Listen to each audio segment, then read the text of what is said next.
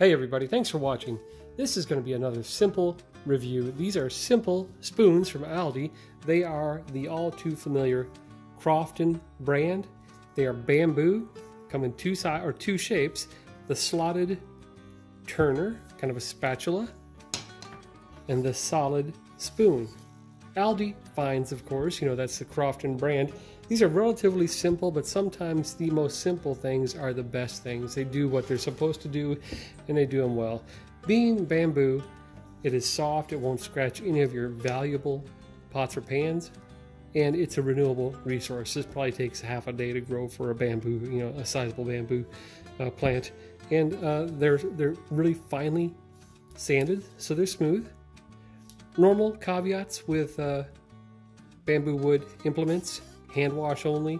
Uh, they're not super high temperature. I think they're rated up to 300 degrees. So any kind of a uh, serving type situation or a light cooking.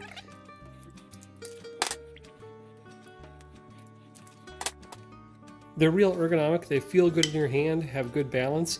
And even though they're oversized, they have a low profile. So if you want to keep them in a drawer, they won't be sticking up and blocking your drawer like some implements do. Uh, but I like them. Simple. Crofton. Aldi Find, bamboo, renewable, and they look good. So this will set you back about $3.99 each when you can find them. Thanks for watching.